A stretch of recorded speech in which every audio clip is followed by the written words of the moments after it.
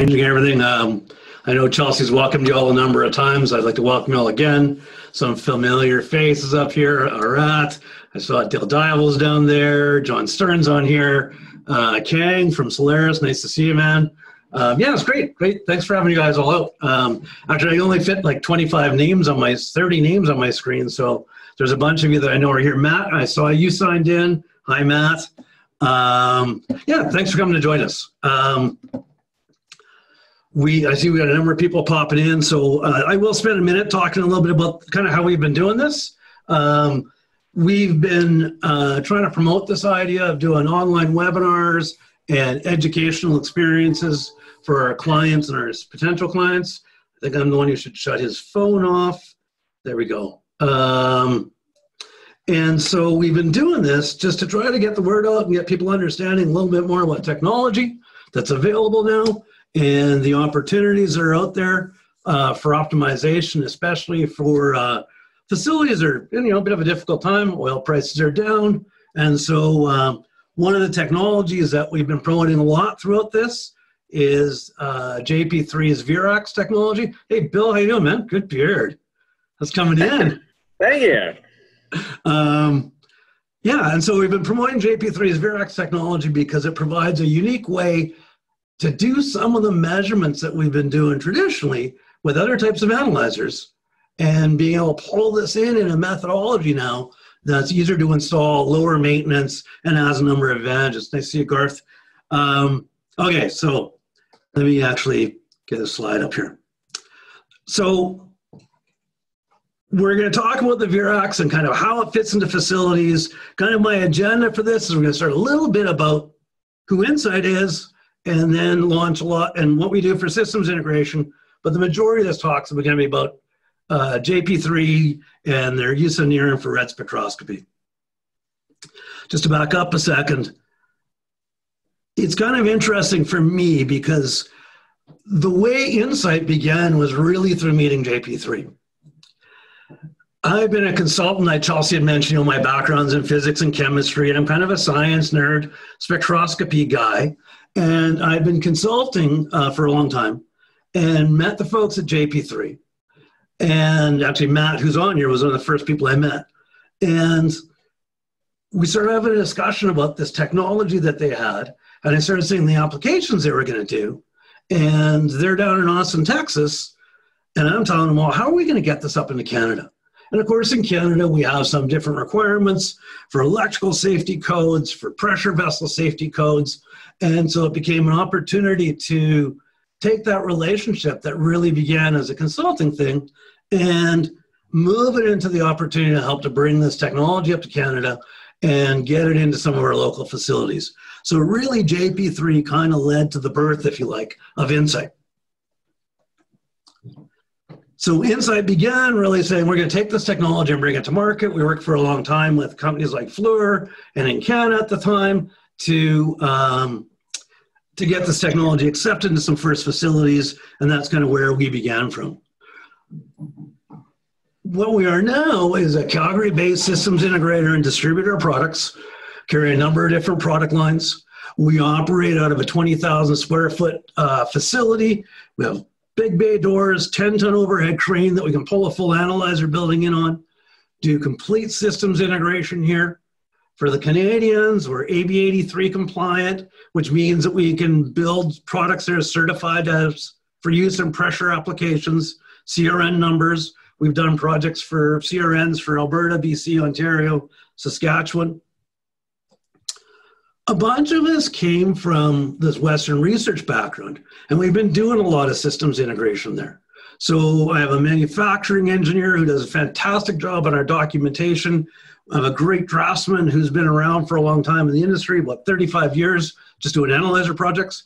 And so we bring a lot of these resources together to be able to do, do full projects for people. All of our electrical is done by journeyman electricians. We do full factory uh, acceptance tests here in Calgary. On the systems integration side, we'll do everything from small panels, uh, like a little regulator panel, to an oxygen analyzer for oxygen and dissolved water to um, composite samplers for crude and uh, condensate pipelines to everything we do, we try to make it be as operator friendly as we can. So we'll do things like you see here in color code valve handles. So when we write instructions, we can say, hey, this is how you're going to actually make this thing work and use this and make it easy to work on for operators and for people who are going to use it. We'll uh, do full systems. This is a JP3 uh, near infrared analyzer sitting in the middle here on a crude blending skid. So there's crude oil flowing through the pipe here. And they're determining, they're measuring vapor pressure with this near infrared device and determining how much butane they can push into that crude. Um, butane's obviously inexpensive compared to the price of crude, so there's a big advantage if we can blend some butane in. So yeah, and then there's, you know, like I say, full analyzer buildings to, you know, automated sampling panels, again, with one of the JP3 infrareds in there. Uh, again, you know, you can see this is, there's a lot of tubing and piping that goes on these systems. Same with any analyzer system. What we're going to talk about with the JP3 stuff is how a lot of this is simplified compared to when we look at putting in something like a chromatograph or an online vapor pressure analyzer. Um, again, you know, full analyzer buildings. This is one of my favorite pictures. Doug's on here, and Doug took this one at one of our installations. And it's a beauty because you can see we've got a couple of composite samplers sitting here over here on the side. We've got a JP3 infrared in here. We've got automated grab sampling going on with a full PLC control. Got an automated solvent flush. A lot of the times these condensate systems are waxy. And Thank so you. we want to be able to flush all that wax out of there. Um, yeah, Charles, could you mute? Thanks. Um, so a big part of this is, is, again is trying to figure out how we can provide a full system solution to these sorts of things um, and the, the infrared part fits into there because it gives us the analytical tool and then we put around it the things that we need to do to make an integrated system that meets all the requirements of a client whether it's custody transfer requirements with composite sampling or other other parts of the uh, the installation so now we're going to talk a little bit about this spectroscopy side of things. Jorge Gamboa, my God, it's been a long time, man. um, absorbance spectroscopy is what we use here. So we look at how much light gets taken away. So when we think about this with visible light, we think of visible light going from you know, blue to red, and those correspond to different wavelengths of light. And if we have white light like we have in this room, all of those different colors are there and it looks white to us. When we put something like green food coloring in there, what it does is it attenuates the red and it attenuates the blue. It takes those away and it lets the green go through. We actually couldn't measure how green this sample was by only measuring the green. This clear glass of bottle of water would let through as much green light as a green food coloring sample would because it doesn't absorb in the green and neither does a green food coloring. We measure how green it is by how much red and how much blue it takes away. So in absorbance spectroscopy, what we look for is what colors of light got taken away, how much of them got taken away, and that lets us identify what's there. So in this case, we're doing the visible, kind of a really common thing that we're all, you know, we're all familiar with, easy to experience. The near infrared region of the spectrum. So if we start out with that blue to red region, over here is red. This is about 800 nanometers for a wavelength of light. If we take that now and we start to move the wavelength further beyond the red, we go into a region that we refer to as the infrared, beyond the red. And there's some really interesting things that go on now. When we talk to clients and we tell them, we're going to measure the vapor pressure of your crude oil by shooting a beam of light through it.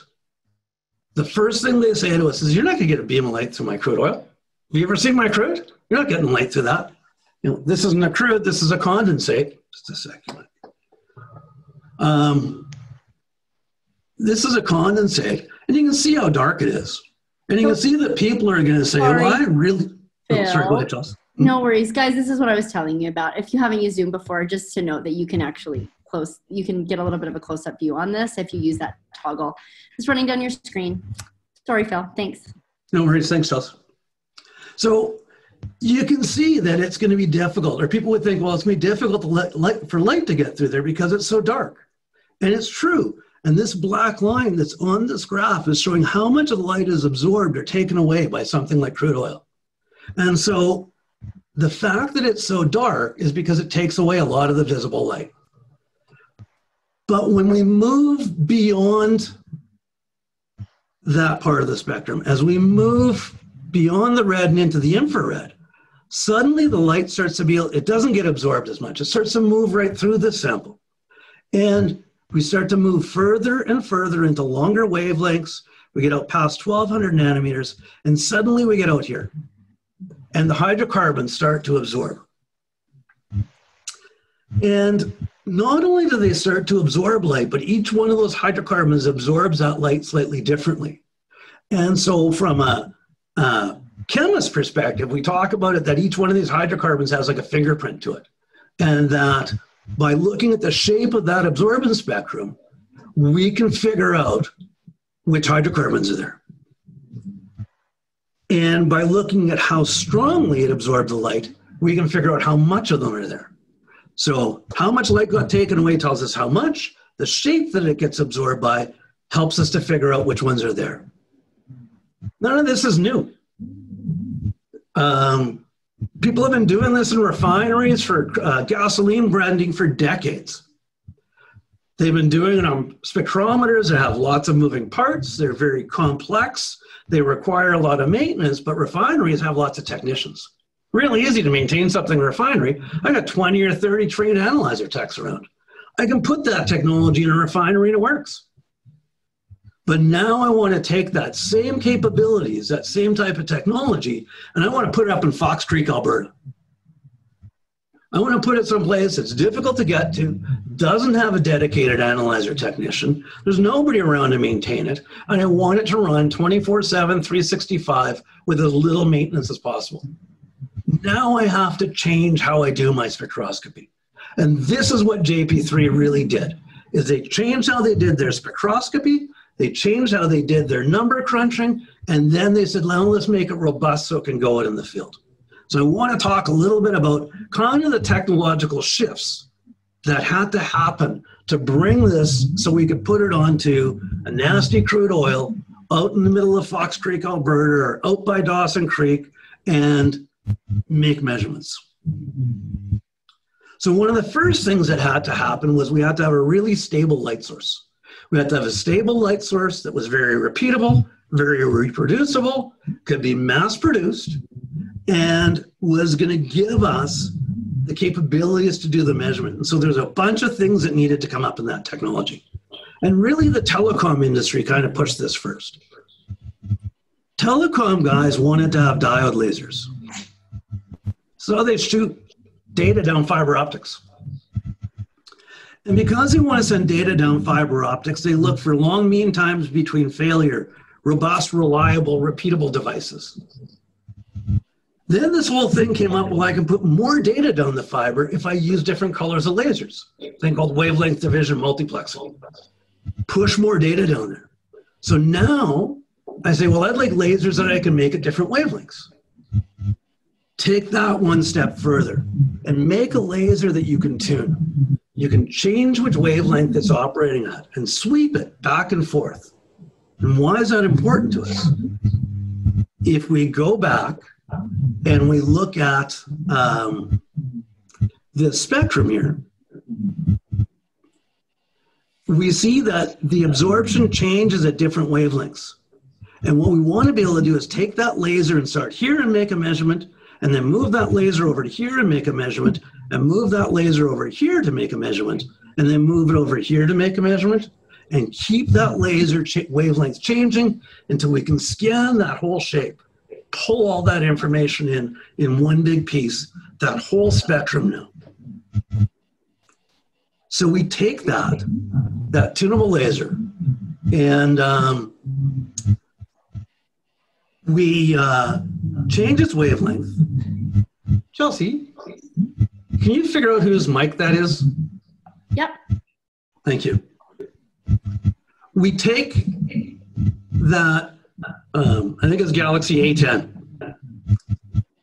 We take that wavelength, we scan it across that spectrum, and that lets us make a measurement at multiple different colors of light.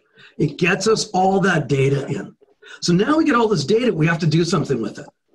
And so when we are doing spectra on gasoline and things like that, it's pretty easy. Gasoline's a pretty stable product. When we want to do more complex products, Else, can you mute him again? Galaxy A10. Can I, is it, is, whoever that is, are they trying to ask, if you're trying to ask a question, can you just private message me, please? Otherwise, I'm just going to keep you on mute, love. Thanks.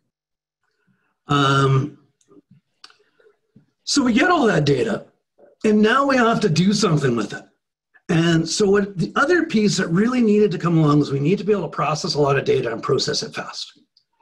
And there's been huge advances, you know, that people talk about computing speed doubling at a, you know, whatever the rate is. I can't remember the numbers. People talk about computers get faster and faster. But also, we developed a lot of really sophisticated algorithms. We developed these algorithms so that we could detect patterns and shapes in things like people's faces, to do face recognition on phones, in the waveforms that come in when we talk, you know, at one time, people who did studied artificial intelligence said, I don't know if we'll ever get the technology good enough that we can um, fully recognize human speech. Kids' toys do it now. Cheapest phone does it now. And it's because we've gotten better with all of these algorithms that we use to pull actionable data out of complex waveforms. So now we take that and we apply that to chemistry we start taking that pattern analysis capability and we apply it to chemistry. We measure those spectra and we use that data to evaluate things like chemical compositions and physical properties. So we take that spectral data, run it through this number crunching routine, and boom, we get actionable numbers out of it. The next slide is animated. It's going to change uh, on its own a little bit, and it just shows you some spectra for some of these infrared, some of these components in the infrared. So the top one up here is a natural gas liquid, a a C2, C3 stream um, at about 420 pounds. The bottom one here is pure propane. You can clearly see how you could differentiate by the naked eye the difference between propane and that NGL stream. The top one just changed to butane. It looks different than the propane. Bottom one just went to isobutane. It looks different than N-butane. Top one went to a C5 plus stream. They have different spectral shapes. There's all this information in there. What we need is that computing capability to pull that information out. So now if we've got that computing capability and we've got this advanced spectrometer that can get the data, we still have to worry about some things. Because all that works really great in a traditional analyzer we have these requirements for an analyzer that we want this nice clean stream that we're going to measure in. This is another natural gas condensate. So this is a C5 plus stream. People call it condensate. Coming off the bottom of a debutanizer. Beautiful, crystal clear. Nathan's on here. He used some of the stuff to run his lawnmower. It's so nice and clean that even an engine's okay with it. So this is condensate. This is condensate. This is the stuff that comes back from the US on the Cochin pipeline. This is condensate. Kind of dirty and schmeggy looking. This is condensate off of the CRW pipeline, or um, yeah, CRW. And so when we start getting samples like this, they become really difficult to put through traditional analyzers. Put this in a chromatograph, put this in a conventional vapor pressure analyzer, and all that small tubing wants to plug up. So now we have to think of a better way of doing sampling as well.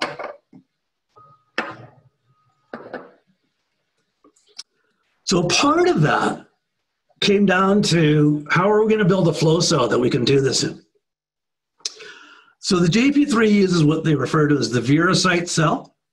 This whole thing is made out of 316 stainless steel. CRN, so a pressure rating to 1500 psi, means we can go on a 600 pound ANSI class system. So we can do all that without any pressure protection. Half inch ports. You know, not like a GC or something like that that has a little eighth inch tubing. We've got half inch ports on this thing. That fluid's going to flow through. Inside there, we put these synthetic sapphire rods. We use sapphire because it is the second hardest thing next to diamond. So there's a synthetic sapphire core, crystal clear, machined, second hardest thing next to diamond, won't get scratched by sand, clay, or bitumen.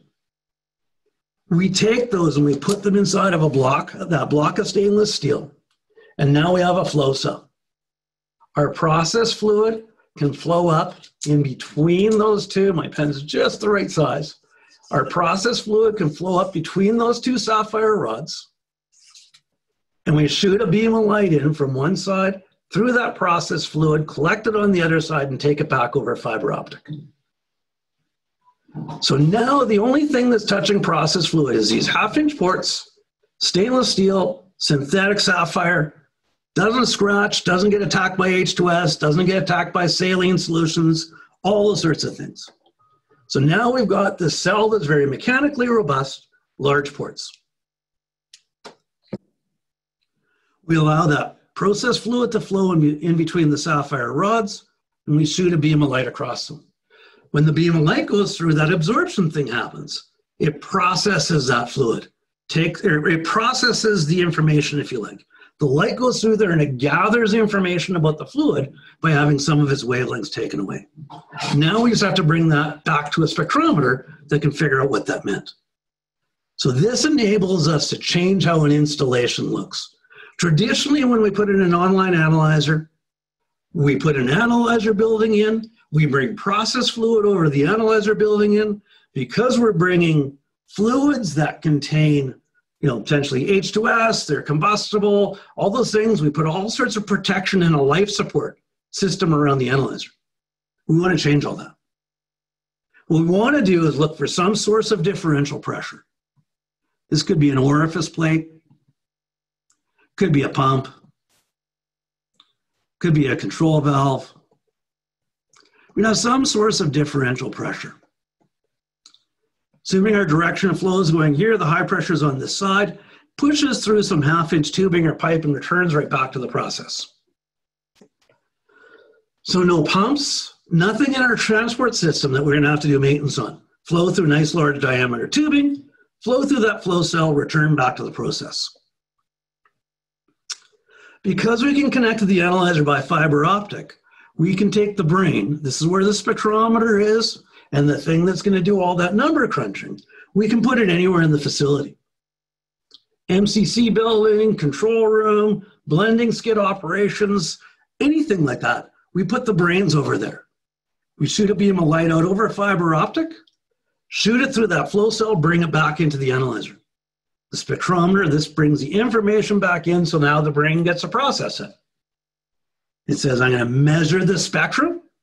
From that measured spectrum, I'm going to run it through those sophisticated mathematical algorithms, and I'm going to decide, oh, I'm going to tell you the C1 through C6 chemical composition, or the C1 through the C9 plus, or the vapor pressure, or the cloud point, or the initial boiling point. We can do all kinds of physical properties and chemical composition analysis based on what this infrared spectrum tells us. The really cool thing is that we can do this fast. Typically about 30 seconds to do a complete measurement. That's the time to shoot the beam of light across the sample, get all the numbers, crunch them through all of our sophisticated algorithms, and spit out a new output. Anywhere from 15 to 30 seconds. So that means that we can get data fast. This lets us tighten up process control. Since we can do it fast, we can also decide to do it in multiple places. So we could be up here and we might be measuring our natural gas condensate over here. And we might decide, well, I'm going to take a second set of fibers. And I'm going to go out to this guy over here. And I'm to make a completely different measurement. I could measure my inlet gas composition of my plant. This could be a crude oil blending application. They're completely, every measurement point is completely separate. A completely separate set of analysis can be done. So it's not like the case where I say, well, I've got a chromatograph here and it can measure NGL. It can do a C3 stream and it can do a C2 stream, but it can't do a C9 stream. I need different columns and detectors. We can have every measurement point doing a different measurement now. This means when we go into a plant, we can do measurements right across the whole facility. In fact, this analyzer comes in four, three different flavors. We can do a single point, which we'd like to do for something like a blending skid. We can do four measurement points. So we might have a deethanizer, debutanizer, plant inlet, and truck offload. Or we can do up to eight measurement points, which we might see in a really large plant or a large frac train or a plant that has multiple trains running. Installations look really easy now. From a P&ID perspective, it looks really simple. We have a sample point, probably a double block and bleed valve. We come in, we usually go past a flow switch. We like to know if we have flow to the analyzer, flow through the infrared cell. This is a pressure and a temperature transmitter. Return back to process. No pumps, no filters, no regulators, none of those things that are normally maintenance. Put that all inside of a heated box for because we're in Canada here. In the US, they put these outside. Literally, the first installation I saw was a eight inch pipe with this little Christmas tree hanging off of it that had a JP3 cell, a pressure and a temperature transmitter sitting outside. Entire measurement. Here, you know, when we talk about minus 45C, well, we say, oh, we're going to put a box around this thing. So we put that into a box. We send fibers out from the analyzer that we mounted over someplace like an MCC building, and we bring analogs and digitals back. So information comes back, tells us how's the health of the box. Analyzer shoots the laser out, gets data coming back. It's a little crude oil blending skid in the South Saskatchewan.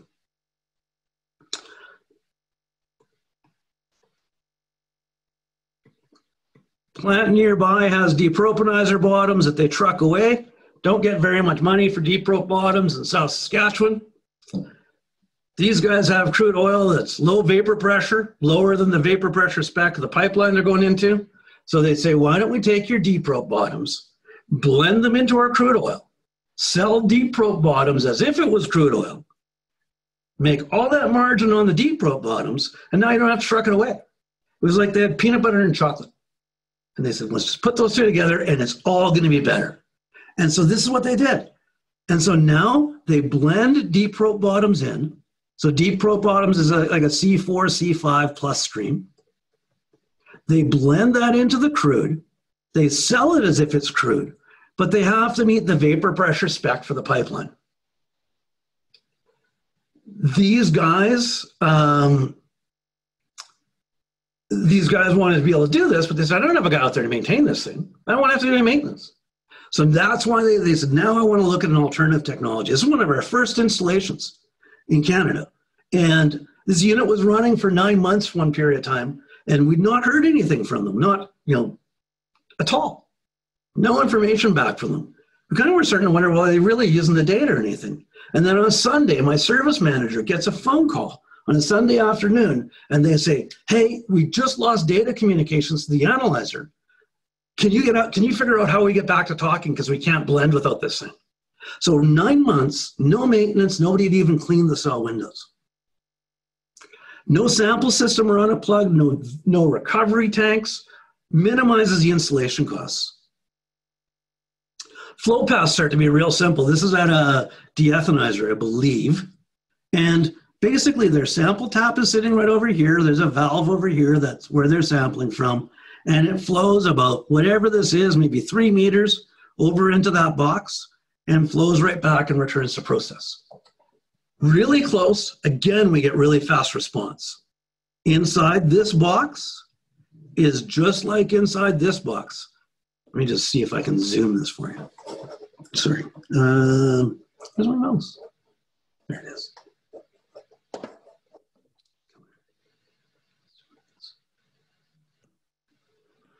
So you see there's a big black line coming in at the bottom. That's our crude oil coming in. Goes past that yellow flow switch. Flow goes up through the JP3 cell. It's got that little heating blanket over it. Keeps it warmer than the crude. That way no waxes or anything condenses on it. Comes past there, pressure temperature transmitter, return back into the blending building. Really short runs, really fast response times. When we start looking at things like chromatographs and we put them on liquids applications, these are the kind of things we start to see.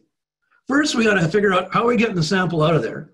And if we're going into a vaporizer, we can have a big dead leg or slow response time sitting right at that sample point. If we vaporize it, we worry about can we vaporize the whole sample? Then we put coalescing and filtration into it, maybe a whole bunch of other sample conditioning stuff. And then we put it into this little GC oven that's so pretty and looks like it's really easy to work on. Of course, it's eighth inch tubing. We've got samples that have crude, uh, have crude oil that have sand, clay, bitumen, asphaltenes in it, and we try to push it through sample systems like this. And we wonder why we have issues. You know, this is a really clean little GC oven. It's beautiful, but again, there's a lot of stuff going on in there. If we can make things simple, it becomes a lot more maintainable we measure right at the process locations. So this cabinet is sitting right down here, and the debutanizer is sitting right in there behind it. So we have really close, do all of our measurements out near the sample point. Crude oil blending skid. This is when I showed the other picture. Crude's flowing through this line, take a little slipstream of it through the cell. What's my vapor pressure? Oh, I can put more butane in. And that's all they want to know.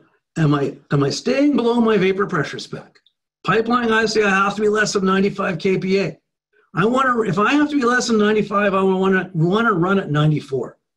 I want to push as much butane into there as I can because I buy butane for five or ten dollars a barrel, and I sell my crude for 30 or 40 a barrel, and I make all that up on mar- as margin.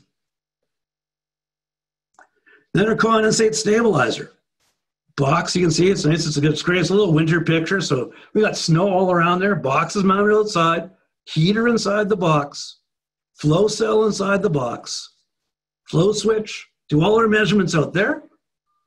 Mcc building they have an electrical building no dedicated analyzer building. And so i don't have to build an analyzer shelter.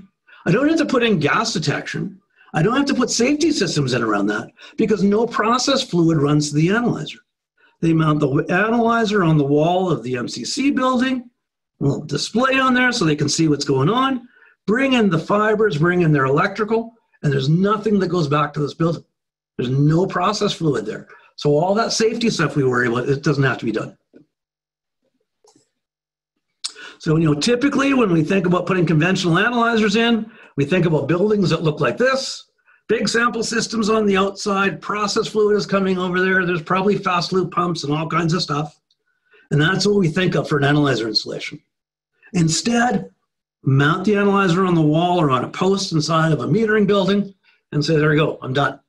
Put the panel outside, everything's complete. So if we look at some comparisons between things, I'm not going to go into this in, in tremendous depth, but with near infrared, we tend to measure close to the process. So that lets us get a speed of response in getting fluid over the analyzer. Chromatographs or physical properties analyzers, we usually have to transfer it back over to where the analyzer building is. With the NIR, we measure everything at line pressures and temperatures. If it's single phase in the process pipe, it should be single phase in the analyzer. Conventional analyzers, we put in sample conditioning. Once we lower pressures or change temperatures, we run risks of phase changes. Lose bubbles in liquids, get liquids condense out of gases. Those things happen, our sample becomes biased. Flow everything through half inch tubing versus tiny tubing. Don't put any filters or regulators in. GCs will typically have redundant filtering stations. Filters plug. We tried to put a filter in one application just as a test. It lasted for about 15 minutes on the Condi that we were on a lot of these filters will plug really quickly. And so that's why people have a tough time getting it to work. You know, we're going to have about one minute response time by the time we figure sampling and data processing. as compared to maybe 15 minutes or half an hour on a conventional analyzer. We can do multiple measurements with the NIR. We can measure composition and physical properties all off of a single measurement, not by an equation of state, not modeled physical properties. We actually can say, I'll build a model to measure the butane in the stream and to measure its vapor pressure, completely separate calculations, not dependent on each other. If we use a conventional chromatograph, physical properties all come down to the equation of state. Pick a different equation of state, you're going to get a different number. We can mount the NIR anywhere as compared to, to putting in a dedicated analyzer building. Phil, This- sorry, may yes. I interrupt with a question? Sure, yeah. Okay. Uh, this is from Chris.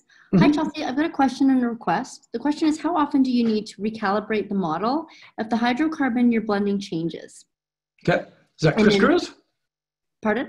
Was that Chris Cruz? Yes. Hey, Chris, how you doing, man? Um, so yeah, so it so the question is, it depends. So what we try to do is get enough data to bracket the range of conditions that we see. So if we're so if we're at something like a condensate stabilizer, we'll say run your stabilizer at different temperatures. That'll give us some low butane values, some high butane values, some intermediate butane values, and now we can build a model that covers across between there these models tend to interpolate really well. The model out at that Saskatchewan facility has not been updated at least for 15 months. And they've told us, they sent us data saying, you guys are like within 2 kPa of our tester who comes out. So it really depends on how much variability there is. If you're going to try to do things like run different batches, run light sweet, heavy sour, heavy sour blended with condi, heavy sour blended with butane, then we're going to have to build models around those different compositions. But if it's just like, oh, well, we changed which wells we're producing this week, the compositional change is probably covered within the scope of the model that's been built. Not only that, we just add new data in the model. So I like to tell people these things, they're like wine in a bottle. They get better and better and better over time. You let them age and things get, and keep on, keep them in good conditions and things just get better. Um, I know it's a little bit of a sales pitchy thing, but hey, it's what we really know is that the more data we put into these models, the more robust they become. So if we add that data in, we can stretch the model out. A lot of our clients don't haven't updated models in months and months. You know, and if they do, if they want to, our guys go out. They don't, a couple of my service guys are here. Go out, pull a few samples, add some data in, and just and it's like you're append you're you're appending the model. You're not adding you're you're not adding you're adding new stuff to it. You're not building a whole new one. And um, I'm just going to add to that, Phil. If, I hope this is okay with Chris. I'm just going to let you know what the request is as well, just in case you want to speak to it. Um, could I get some references for, from upstream operators using this in Canada for plant processing and crude um, slash condi blending? Yeah, yeah. Um, Scotty. I'll just I can forward this on to Scott or let Scott. Yeah, I'll- Scotty. We'll, we'll take care of that. We'll get that to you afterwards, Chris, for sure. Yep, for sure. Thank you. So the thing about some people like physical, well, physical properties analyzers, like vapor pressure analyzers, or things like chromatographs, is they they're a more direct measurement to a lot of people. They're not relying on this idea of modeling. They're more built on a more direct measurement. And GCs and things like that can do very trace compounds, whereas normally we do more bulk constituents. Um, so there's kind of where the comparison sits in there. The big difference for me and for a lot of our clients on this comes down to the maintenance side of it. We have a client who said they spend $50,000 a year on parts to keep their chromatograph and their vapor pressure analyzer on condensate running. So just from a maintenance, and then there's maintenance labor on top of that. Uh, I'm running a little bit behind, so I'll maybe speed up a little bit. One of the big applications we've done is optimizing condensate stabilizers. So in Alberta here, there's a spec on how much butane or C4 minus you can have in your condensate. It's allowed to be 5%. And if you can optimize and run as close to that, you'll increase your production of condensate. That directly means you're producing more barrels. You're going to reduce your energy consumption. You don't have to reheat the condi as much. that reduces the CO2 emissions so you don't have to give Justin Trudeau as much money in carbon taxes. So this is like a win for everyone now. Um, to do so, it requires real time measurement of composition or vapor pressure. And a lot of people have had, found that online GCs have had issues here. Again, if you got a Conde that looks like this one, it may not be so difficult to get that GC running. But when you've got Conde that looks like this, and this is what plant bottoms looks like, if you think about how condensate's produced in a gas plant, inlet separator, drop the liquids to the bottom. Dirt, sand, clay, bitumen, those all go with the liquids. Take that liquids, put it in the condensate stabilizer. Dirt, sand, clay go to the bottom. That's what we're going to try to measure. Streams are dirty, they plug things off fast. Up in the Montney, where a lot of people are producing, those things are really waxy as well. So now we got to worry about wax formation as well. So, sorry, this is a really busy slide. There's probably too much info on here and it's a bit redundant. But what we really want to do is measure how much C4 minus there is in our, our stabilized Conde. This is basically methane, ethane, propane, and butane. We need those four measurements. We've got to keep that less than 5%. If we boil the stuff too hard and push a lot of that ethane, propane, butane over to the tops, we get less liquid out the bottom. So if we increase the heat, we push more gas out the top and we get less liquid out of the bottom. Liquids are worth more money than gas. So what we want to do is reduce the amount of heat and make more of this product. But we can't go over 5%. If we go over 5%, we pay a penalty. So what we found with a lot of our clients is if we can put an analyzer in and optimize things, we can increase their volumetric production by one or two percent. Doesn't sound like much, right? I don't care if my if my kid gets 99 on an exam or 98. I don't care about that one percent very much. This one percent means a lot, though. It means if you're producing 400 cubic meters a day, one percent more is 404 cubic meters a day.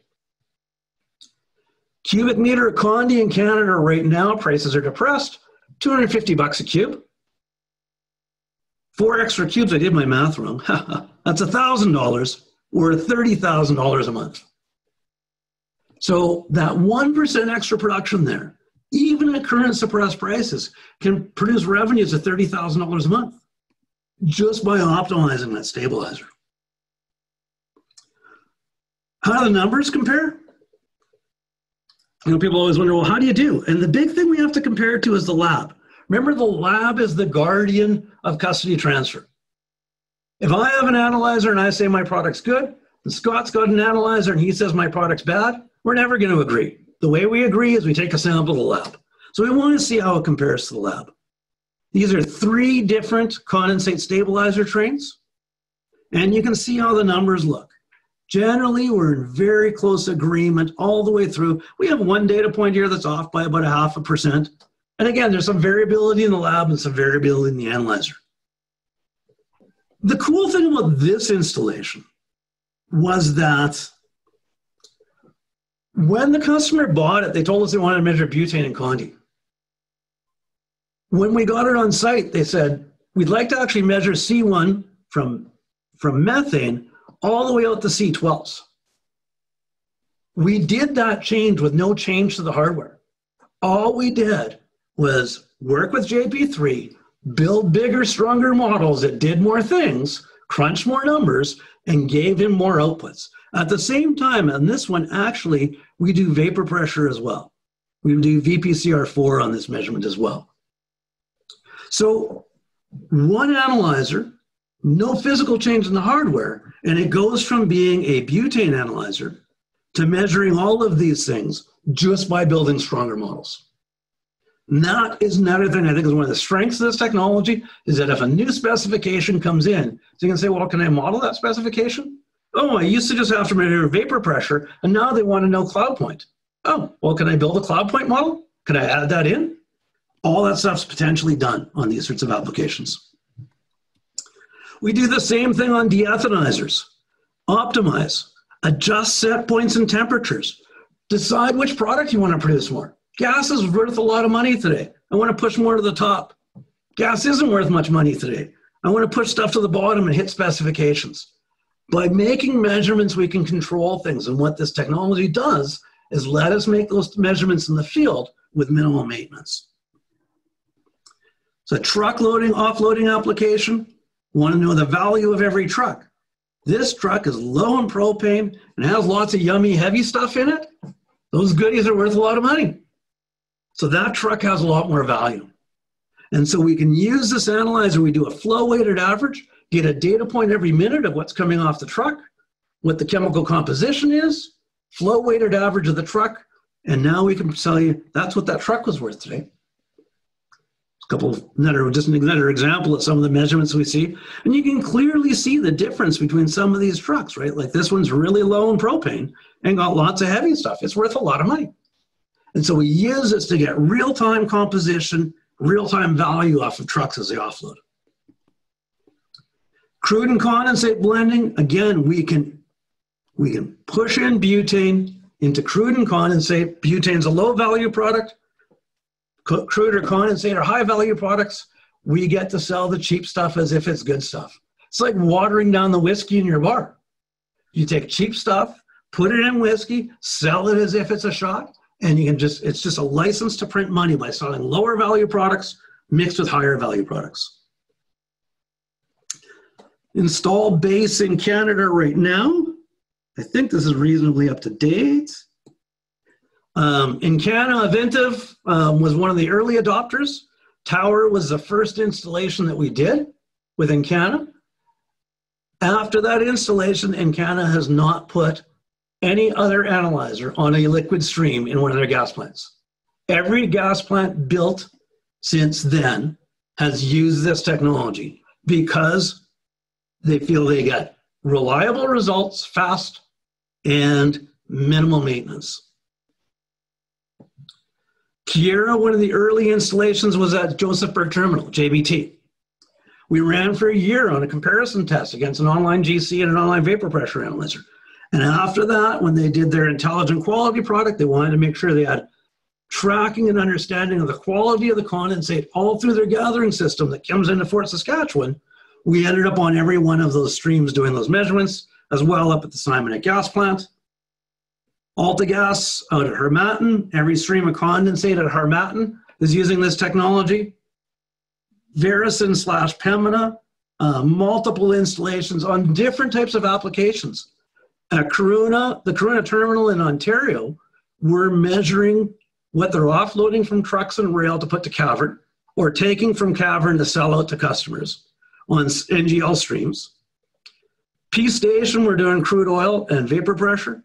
Hythe gas plant, we're doing a number of different NGL streams along with condensate. Tervita, Vermilion, Paramount are all crude oil blending. Um, very again, so now you know we're looking at different basins, right? Vermilion and North Portals down in South Saskatchewan. We're up at Fox Creek. We're up by Green Court, Whitecourt.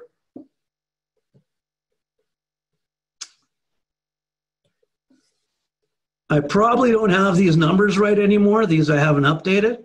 But in North America wide, there's over a couple hundred installations now.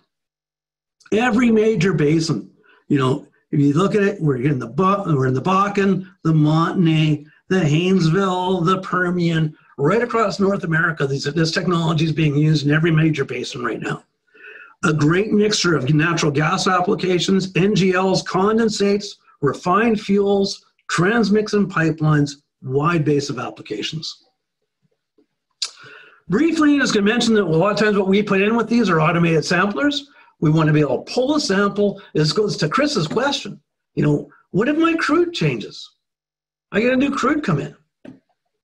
Um, maybe the analyzer doesn't like it, doesn't think it can measure it that well. We put automated samplers there, we pull a floating piston cylinder, say, okay, now you can fill this cylinder up, add data into your model really easily. From a custody transfer perspective, composite samplers as well. We provide a full line of composite samplers to go on in parallel with these.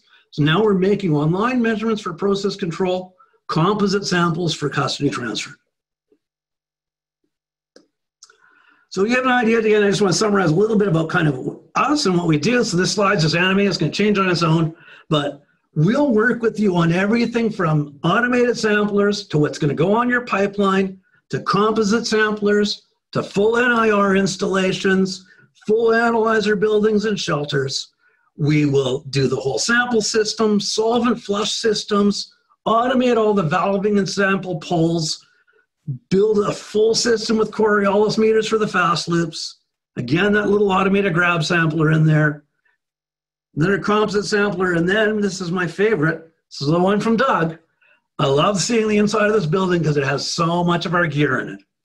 We've got automated solvent flush system. So if this cell gets waxy, and they say, I don't, I'm not getting as much light to the cell, we push solvent through and flush it out and clean it. We've got automated samplers to pull samples, PLC that's going to control the whole thing, fast loop running up top, composite samplers, so we're getting product quality all the time. So in summary, um, Insight as a company, we believe brings a strong measurement focus to applications in the oil and gas industry. We're all measurement guys. This is what we do. We're very Western Canadian centric right now. We like to work where we can support easily fantastic service uh, out of Grande Prairie. Okay, service out of Edmonton. Hi, Todd. uh, we're a service guy to Calgary as well. Um, no, I mean, we like to be where our products are and where we can service things. Um, we come with this, you know, fairly. Uh, we have a strong sample system, shelter design group. We've been in this business for a long time. And we've been really grateful to have the opportunity to work with JP3. We got to bring this technology to Canada we did the first ever installation in Canada, working with JP3, and uh, we've made this work up here, and people are happy with it. Oh, my screen behind me just went off. Let's fix that. Um, couple thanks. Making measurements matter. Um, we put this together, and we've been. This is now really a venue that if you're looking to host an event like this, we can help set all that up. Hopefully, you found all that registration stuff and how this was was uh, marketed to you and made available to you worked really well. Um, Chelsea has obviously been doing the moderating for me here, but she's been instrumental in kind of building that and uh, works with people on branding businesses, on growing your business, and basically building your own, whether it's a website or a business. And so, uh, big thanks to her. It's been a huge help to this. Um, I'm going to leave this up here at the end. If you want more information, you can get it from our website. I guess I should have also probably put, you could also get it from www.jp3.com. Um, if you want to contact myself or Scotty, our contact information is up there right now. And um, we're trying to make our second quarter right now. So if there's an opportunity for there to pull a project in with you guys, um, we're probably willing to do some talking. And so this COVID thing has, of course, affected business, and we'd like to see something that we can we can do to make this work. So that wraps me up. If there's any other questions, I'd be happy to take them. There is one more from Derek. Um, yep. Can JP3 uh, speci- speciate a grouping? Speciate, yep. Can, that's right. Okay, good. Jamie. Um, can it break down a C4 group? Uh, can it break down a C4 grouping into butane, but- butene, etc.? What is minimum dedication limit for each co- component? Comment for Phil. Okay, yeah. Yeah, um, yeah. So it depends. Again, a lot of this stuff depends on the stream compositions. So, um, so what we want to measure in which stream? The butenes and the butanes, the alkenes and the alkanes separate really well spectros- spectroscopically. So doing things like separating one butene from a butane is actually a nice spectroscopic measurement to do. Detection limits depend on cell length and what all is there. Typically, we tell people that our detection limits are going to be down in that 1,000 parts per million, 0.1 LV percent is kind of typically detection limit, 0.1 to 0.3 LV percent. Lower than that in some applications, but that's kind of my, my rule of thumb number without seeing a stream composition I can work from. Again, we've got some JP3 guys on here. If anybody wants to jump in and correct me, you Feel free, boys. Yeah, Matt's in. Good. Um, any other questions or anything? There's a comment after that from Derek who says, "Don't try mixing that water with whiskey where I live. At least not until after 2 a.m." Cool. Great advice. Yeah. Thank you, Derek. Um, I'm going to ask a favor of a couple of people on here. I know we've got some um, Swagelok guys and a couple of my guys here. We want to do a little test of something on Zoom. And so if you guys could hang out after this is done, um, I'll let you know, once we decide everybody's done, um, if you're a Swagelok guy who wants to hang out or one of my guys who wants to hang out, put up your hand in the little participant thing, do the raise hand thing, and then Chelsea will know not to kick you out. Um, otherwise, you're going to probably get bu- bittered at the end. Thank you. This is a bit of a favor for me, everybody, uh, presentation thing. So thank you to everybody that's willing. Thanks, Scott. Hey, uh, Phil, this is Matt Thomas. Uh, good to see you. You're looking uh, remarkably kempt in these COVID times. Thank you, Uh, Matt.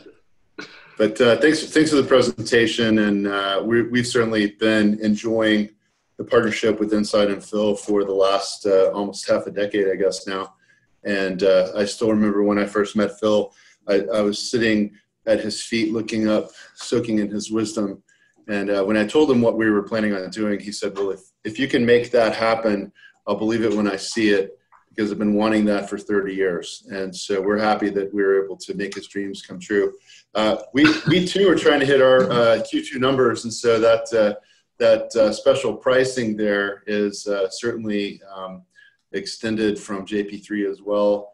Uh, Phil, thanks again. And I did want to mention that um, in addition to all the applications Phil's been talking about, we do a lot of downstream and distribution type applications as well, uh, including looking at refined fuels and transmix. Um, eliminating transmix and saving uh, half a million to a million dollars a year at transmix terminals. We just signed an agreement with uh, Phillips 66 that we announced uh, to go out and uh, market that across North America. So that's yet another application that we're uh, happy to be able to do with our data systems. Thanks again, Phil. Yeah, thanks. Thanks, Matt. Appreciate it. No, it's been great. We've, uh, as Matt said, we've had a pretty long, you know, five, at least a five or six year working relationship. Actually, I think I started consulting seven years ago with you guys. Um, and then as Insight, about five. So yeah, it's been great. Um, hey, Garth. Yeah, thanks. Old GC guy. I think, It was good seeing you, Garth. Thanks, buddy. Cool. Any other questions or anything? Sorry, Nope. Go ahead, Chelsea. I should not be speaking over you. This is your party, Phil Harris. No worries. All right. Well, everybody else, we are here for the next little bit. So if you have any other any any other feedback for Phil, um, we'll make it really easy for you to find this information. We'll make sure to send out a little replay email to everybody that was here today, um, with some links and some emails and um, some more things to check out. Thank you, everybody, so much for being here. You see Mr. Dival down there. Hi, Dale. Thanks, buddy.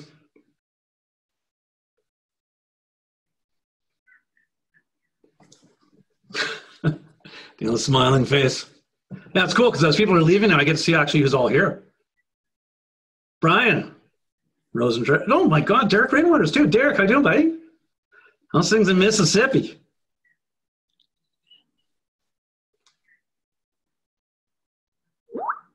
Cool.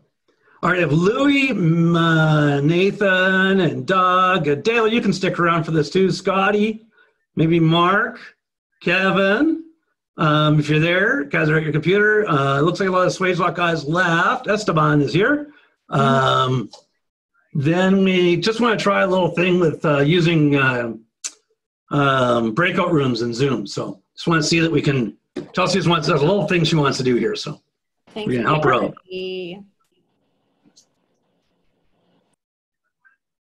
Just so that you know, everybody's saying thank you in the chat. In case you can't see that, Phil. yeah, for some reason my chat's not updating on here. Oh, great! Thanks so much, everybody. Yeah, have to scroll. Yeah. yeah, there we go. See that's oh hell, God, you can see that Alex Strachan was on here too. Yeah, cool.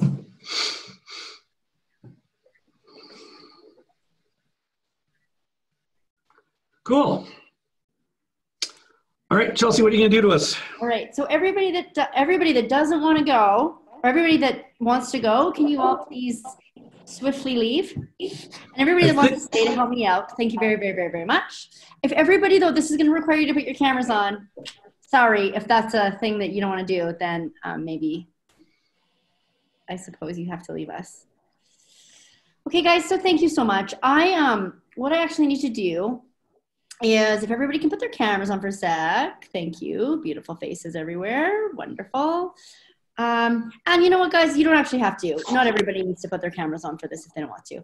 Um, I just need to practice a couple little things here and get a couple more little promo um, pics off of this. So uh, if you don't want your video on, that's fine. I'm so just- part of the reason for this is one of the things